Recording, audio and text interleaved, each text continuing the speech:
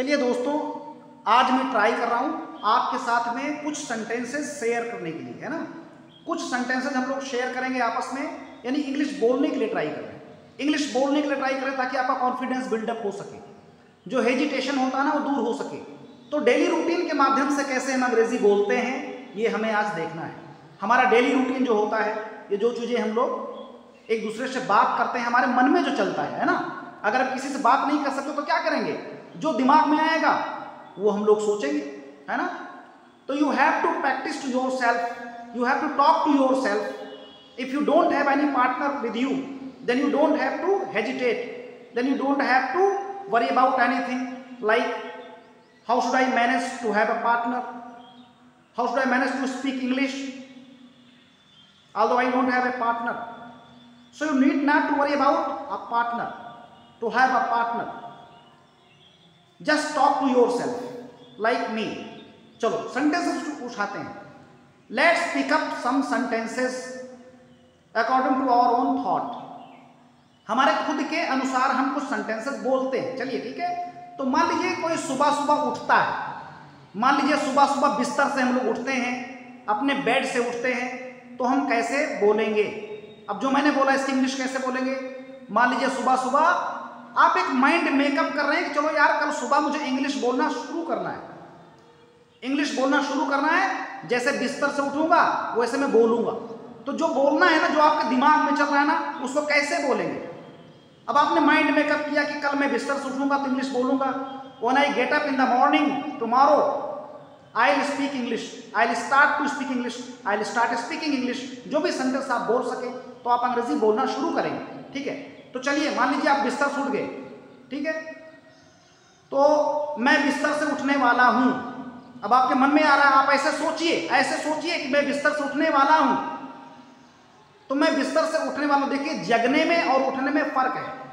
अगर मैं जगने वाला हूँ तो no I am to wake up लेकिन आप जगने वाले हैं तो थोड़ी सोचेंगे। आप तो सो रहे हैं ना? तो सोने के बाद जब जगेंगे थोड़ा सा आँख बंद होगी दो चार सेकंड, दस सेकंड के लिए, फिर आप उठने की कोशिश जब करेंगे तो वो सिचुएशन है कि मैं बिस्तर से उठने वाला हूँ। तो I am get up I am to get up या I have to get up now I have to get up from my bed now I have to get up from my bed अब मैं अपने बिस्तर से उठने वाला हूँ। या आप सोच रहे हैं कि अब मुझे अपने बिस्तर से उठना है इन now I am about to get up from my bed और अगला मुझे अपनी मोबाइल चेक करना है। लोग क्या करते हैं? जब बिस्तर सुटते हैं तो पहली नज़र मोबाइल पर जाती है। ये आदत पड़ गई ना सेल फ़ोन पर। तो मुझे अपनी मोबाइल चेक करना है। तो now I have to see my mobile S double E see now I have to see my mobile मुझे अपनी मोबाइल को सी करना है। सी का मतलब चेक करना। सी माने मिलना और चेक करना। ठीक है? ये आपको ध्यान देना है। तो I have to see my mobile या now I have to check my mobile कोई दिक्कत नहीं है। Now I have to check my mobile अब आपने बोला कि हाँ मोबाइल चार्ज हो गई है। तो नाउ आई फाउंड यानी yes my mobile has been charge my mobile has been charge मेरी मोबाइल चार्ज हो चुकी है चार्ज हो गई है। उसके बाद अगला सेंटेंस अगर होगा लाओ स्टेटस चेक कर लेते हैं। स्टेटस चेक कर लेते हैं मोबाइल पर। किसका क्या मैसेज आया? है now let me check my status let me check my status आपको ये सेंटेंस रट लेना है ताकि किसी के सामने अगर बोलेंगे तो इसमें क्या ना पोलाइटनेस झलक रही है। इसमें पोलाइटनेस झलकती है कि लाओ मैं ये कर दूँ, लाओ मैं ऐसा कर दूँ तो लेट मी लेट मी करके आपको बोलना हर जगह है। तो let me check my status ठीक है? उसके बाद में अगर होगा कि स्टेटस में कुछ खास नहीं है स्टेटस में कुछ खास नहीं है तो आप क्या बोलेंगे? There is nothing special there is nothing special on the status ठीक है? ये बोलेंगे। उसके बाद किसी का कोई मैसेज नहीं आया, किसी का कोई चलिए चेक करते हैं। किसी का कोई मैसेज नहीं आया, ठीक है? किसी का कोई मैसेज नहीं आया तो क्या होगा? No message yet not any buddies message yet ये भी कर सकते हैं। नो मैसेज येट या देर इज़ नो मैसेज कोई मैसेज नहीं है? हो गया। आपको बहुत ज़्यादा घसीट करके नहीं बोलना है। छोटा सा शॉर्ट वे में बोल कर निकल जाना। ठीक है? एक गिलास पानी पी लेता हूँ। ठीक है, एक गिलास पानी पी लेता हूँ। आप बिस्तर सुट रहे हैं, क्या सोचेंगे? चलो एक गिलास पानी पी लेते हैं। तो अब मन में आएगा चलो यार, एक गिलास पानी पी लेते हैं। तो I have to take a glass of water है ना?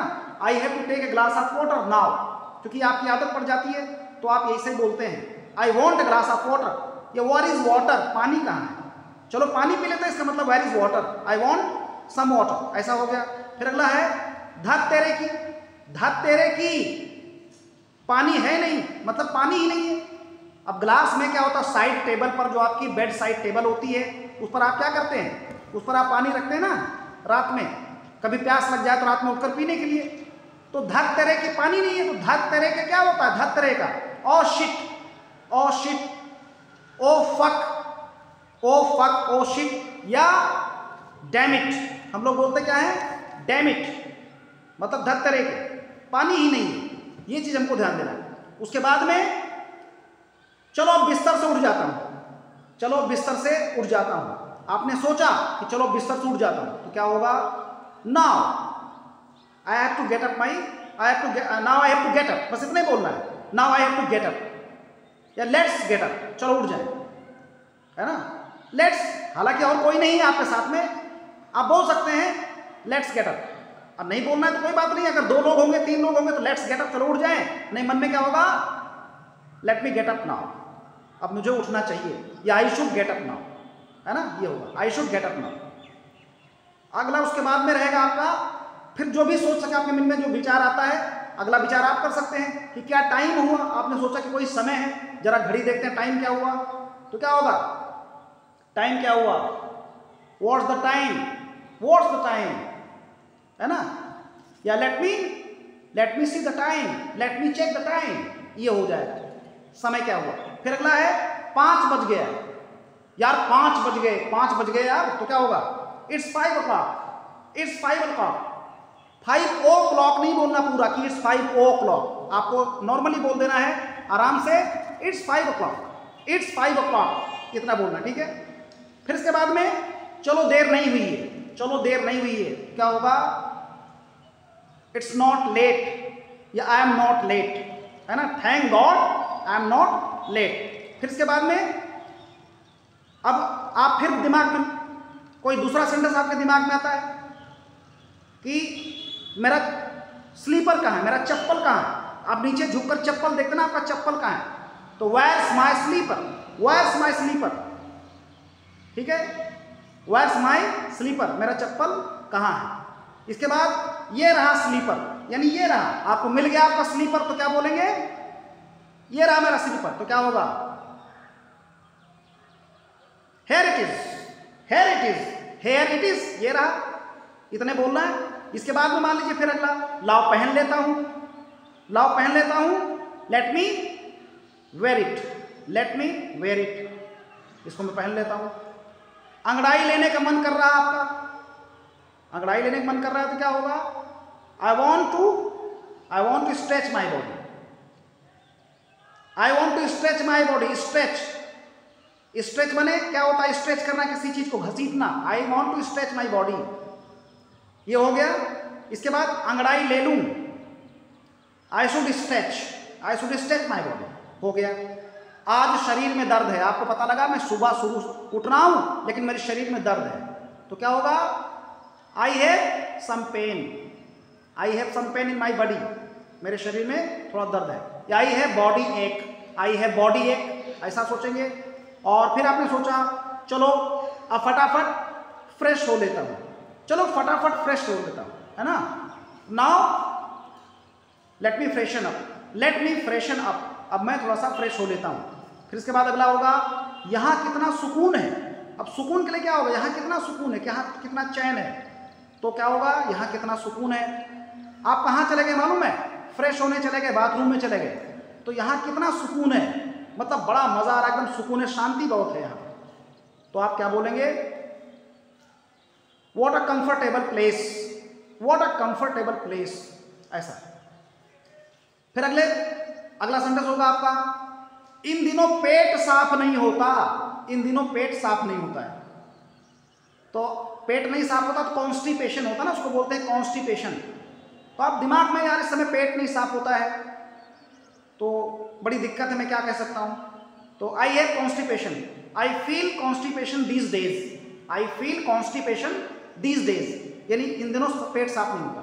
फिर अगला, आप वॉशरूम से बाहर आए, अब क्या ढूंढेंगे? हैंड वॉश कहाँ है? हैंड वॉश कहाँ है? तो हैंड वॉश कहाँ है? तो सीधी सी बात where is hand wash where is hand wash ये रहा हैंड वॉश तो क्या होगा? हेयर इट इज़ फिर वही हो गया। और नहीं मिला, कहाँ गया यार, किधर गया? Where to find where to find it where to search for कहाँ ढूंढूं? ये नीचे रहा। हेयर इट इज़ डाउन ऐसा हो जाएगा। छोटा छोटा सेंटेंस आपको बोलना है। अब थोड़ा सा यूज़ करना है। मतलब थोड़ा सा, लाओ, मैं थोड़ा सा यूज़ कर लेता हूँ। लाओ हैंड वॉश थोड़ा सा यूज़ कर लेता हूँ। तो let me have a little bit let me have a little bit let me apply some of it ऐसा भी कर सकते थोड़ा सा लाओ, मैं अप्लाई कर लेता हूँ, ले लेता हूँ। फिर अगला है आपका, कायदे से लगा लूँ मतलब हैंड वॉश को ठीक से लगा लेता हूँ। ऐसा मन में आता रहता ना, ऐसा मन में आता रहता ना इसको थोड़ा सा लगा लूँ, कायदे से लगा लूँ, बढ़िया सा हैंड वॉश कर लूँ। तो क्या होगा, कायदे से लगा लूँ? I should apply it properly I should apply it properly मुझे इसको अच्छी तरह से लगा लेना है। अब टोटी चला देता हूँ। अब टोटी चला देता हूँ पानी के लिए हैंड वॉश करने के लिए। तो क्या होगा? I should I should I should क्या? Turn on the tap I should turn on the tap now now I should turn on the tap अब मुझे टोटी चला देना चाहिए। यानी अब टोटी में चला दूँ। हाँ पानी आ तो रहा है। पानी आ तो रहा है तो क्या होगा? Yes the water is running the water is running पानी आ रहा है, चल रहा है। बस इतना बोल रहा है। या water is running through the pipe या water is running through the tap tap से पानी आ रहा है। अब साबुन अच्छी क्वालिटी का नहीं है। आपके दिमाग में अगर साबुन जो है ना, साबुन अच्छी क्वालिटी का नहीं है तो क्या करेंगे? I think the dish is not of good quality the dish is not of good quality या I think the dish dish has not good quality इसमें अच्छी क्वालिटी नहीं है। फिर अगला आपके दिमाग में कोई आ गया कि इससे जो, इससे अच्छा तो पहले वाला था, इससे अच्छा तो पहले वाला साबुन था तो क्या बोलेंगे? The previous the previous was better than it पहले वाला इससे अच्छा था। कल से वही यूज़ करूँगा, कल से वही यूज़ करूँगा पहले वाला। तो क्या होगा? कल से वही यूज़ करूँगा। I use the former the I I use the I I shall use the former one पहले वाला यूज़ करूँगा। I shall use the previous one पहले वाला यूज़ करूँगा मैं। ये आपको करना है। बहुत ज़्यादा कठिन सेंटेंस बनाने की डिफ़िकल्ट सेंटेंस बनाने की कोई ज़रूरत नहीं है। चलो, हो गया हाथ साफ़। चलो, हो गया हाथ साफ़। तो क्या हो जाएगा? यस आई हैव डन मतलब हाथ आप धो रहे थे ना? यस आई हैव डन हाथ साफ़ हो गया। My hand is clean now आप ऐसे बोल सकते हैं। My hand is clean now तो उसी को my hand is clean now की जगह बोलेंगे? चलो हाथ साफ़ हो गया आई हैव डन आपने कोई भी काम कर लिया, खाना खा लिया, कुछ भी कर लिया डांस कर लिया आई हैव डन इतने बोलना मेरा हो गया, इतना हो गया, है ना? तो इस तरह से आपको बोलते जाना है। अब उसमें बहुत सारी बातें और भी आ जाती हैं कि मैंने ये नहीं किया, मैंने वो नहीं किया, चलो हाथ साफ़ हो गया, तौलिया कहाँ मान लो कि तौलिया कहाँ है? वारिस टॉवल है ना? वारिस टॉवल टॉवल कहाँ पर है? हेयर इट इज़ ये रहा टॉवल है? तो ये चीज़ आपको ध्यान देना है कि इस तरह से आपको बोलना है। तो एक ट्रायल था, मैंने कहा, चलो थोड़ा देखते हैं कि किस तरह से बात कर सकते हैं। डेली रूटीन में अपने आप से, अपने मन में चीज़ें सोचिए। खुद से टॉक कीजिए। Talk to yourself this is the only point by which you can speak English fluently तो मेरे ख्याल से चीज़ें अच्छी आपके लिए फ़ायदेमंद रही होंगी यूज़फुल रहा होगा। मेरा जो टिप्स था आज का वाला और इसे आप फॉलो करेंगे, आगे भी इसे बोलते जाएँगे, खुद से। छोटे छोटे सेंटेंस बनाते जाएँगे। नहीं कर सकते तो लिख करके बोलिए। ठीक है? Thank you so much for watching this video guys